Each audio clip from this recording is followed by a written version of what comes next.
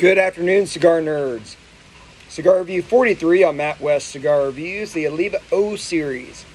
It's a torpedo, 6.5 inch 52 ring gauge. So, torpedo because it's torpedoed up at the top. Nicaraguan made. Uh, Oliva's a great brand.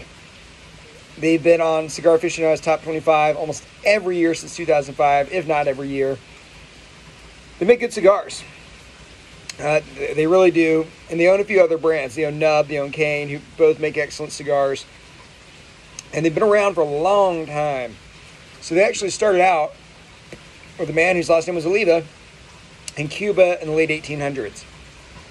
His grandson fled Cuba in 1959 to Spain, then Nicaragua, where he started making cigars. In 95, him and his son, so the original guy's great grandson, formed Oliva and they actually, you know, really started making these cigars in earnest. I have really conflicting opinions on the cigar, and I apologize. I look like a homeless person, but it's raining, so this is what I'm wearing. The uh, cigar drew extremely poorly at the beginning. I mean, it was bad. Like, couldn't get anything out of the cigar. It has opened back up. So at this point, I can smoke a little bit out. Like earlier, I was smoking that uh, Ave Maria that was just phenomenal draw. This is this is bad. The draw is terrible. The construction is good. It's burning well, but the draw is really bad. But what counteract counteracts it is the taste. I'm getting probably the most cocoa-y, chocolatey notes I've ever ever gotten out of a cigar.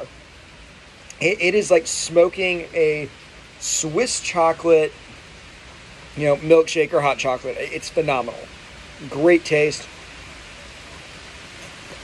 I mean, ugh, amazing. The other weird note I get is tennis balls. If you've ever opened a package of tennis balls, brand new tennis balls, smelled them, this is what it tastes like a little bit, especially in the first few puffs. So overall, in the cigar, I don't know how to rate it. Um, I hate to give it a pass because it's one of the best tasting cigars that I've had recently. But I also hate to give a buy rating to a cigar that I can barely get any smoke out of. So I, am going to give it a bit more of a nuanced rating, which is going to be a a neutral, but watch the video, right? In other words, it's just hard for me to blanketly say, yeah, I really recommend that cigar.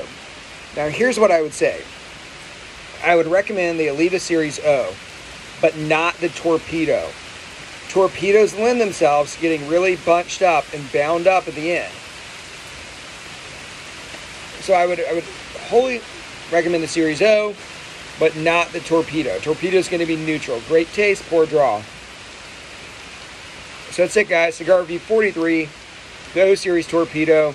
We're going to give that a neutral rating. As always, thank you so much for watching.